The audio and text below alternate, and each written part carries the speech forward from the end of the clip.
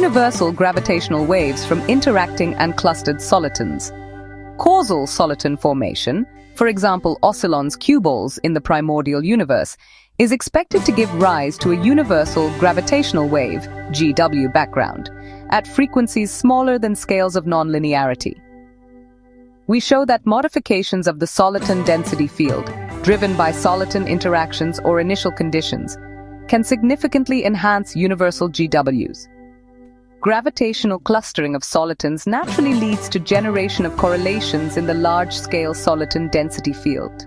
As we demonstrate for axion-like particle ALP oscillons, the growing power spectrum amplifies universal GW signals, opening new avenues for probing the physics of the early universe with upcoming GW experiments. Astrobiologists Awards. Nominate now. Subscribe.